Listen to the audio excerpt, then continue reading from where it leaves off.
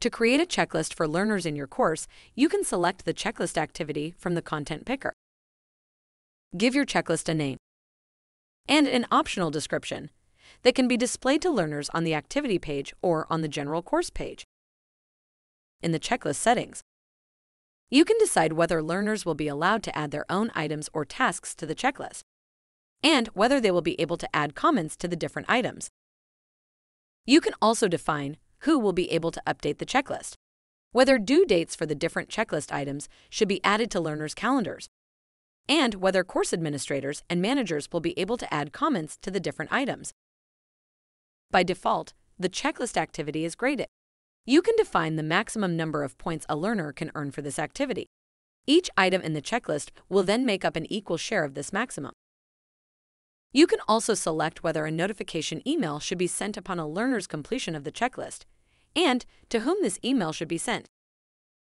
You can decide to create your own checklist items once the activity has been added to your course. Alternatively, you can automatically add all the activities and resources from either a specific section or the whole course as items in the checklist. This list will then be updated as the course is updated. You can allow the items in the checklist to be automatically marked off as learners meet the activity completion requirements for the different items. You can also specify whether this can be overridden or not. Alternatively, learners will need to manually mark off checklist items. Finally, you can determine whether a course administrator or manager will be able to change an item's completion status once they have marked it off. In the Common Module settings, you can determine whether the checklist should be shown to learners or not. You can optionally assign the activity with an ID for tracking or reporting purposes. This field can typically be left blank. And if course groups are enabled within your course, you can determine the group mode that should be applied to this activity.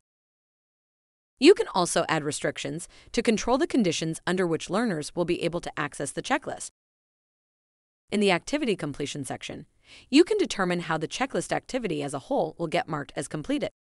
You can disable completion tracking entirely, require learners to manually mark the activity as completed, or specify conditions that learners must meet in order to have the activity marked as completed.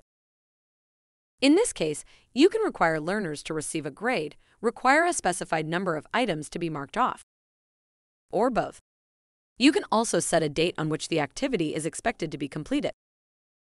Finally, you can add tags to allow learners to search and connect related content.